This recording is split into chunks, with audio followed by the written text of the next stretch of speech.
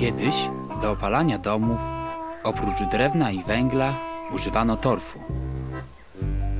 Kopało się go na obrzeżach lasów bagiennych, gdzie dokładnie wiedzieli mieszkańcy od swoich rodziców i dziadków.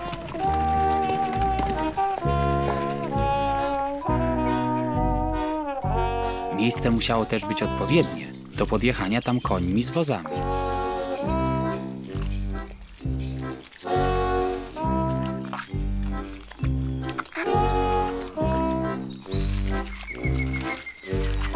Do kopania torfu chodziły całe wsie. Praca ta była ciężka, całodniowa.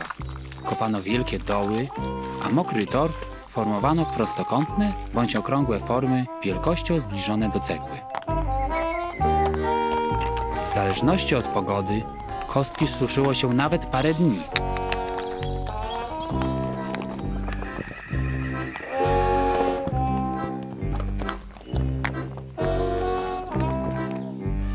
Takie wyschnięte kostki ładowano na wozy i końmi zwożono do domów.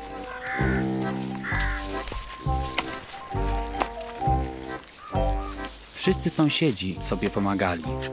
To jednoczyło całe wsie.